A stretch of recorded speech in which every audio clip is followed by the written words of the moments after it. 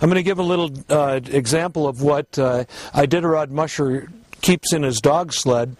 And this is the kind of gear that I have in my sled that I take with me on the whole trail, all the way from Anchorage to Nome. But the snacks that I have that I give out on the trail are snacks like this. And these are pieces of meat that are cut up, and they're cut small enough so that the dogs can be able to use the leverage of their jaws to chew it up and to eat it quickly along the trail. The dogs will take care of you, but you need to take care of the dogs. Another thing I keep in here are extra booties. So I'll wrap these up so they don't hurt the sides of my sled. But I stick those on the sides as kind of a support on the sides of my sleds. And then I start putting in some of my other gear. One of the things, of course, being the cooker. And the cooker is always in a spot right about there. And then the other stuff that I have here, I just keep fairly open. I normally have this rolled up and taped a little bit tighter. But for these purposes, I'll just stick it right in there.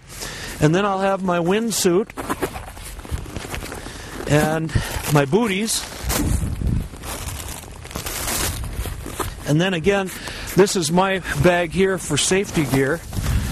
Stick that right in there. and then my protectors for my dogs. Well, the whole sled with all of the gear when I leave.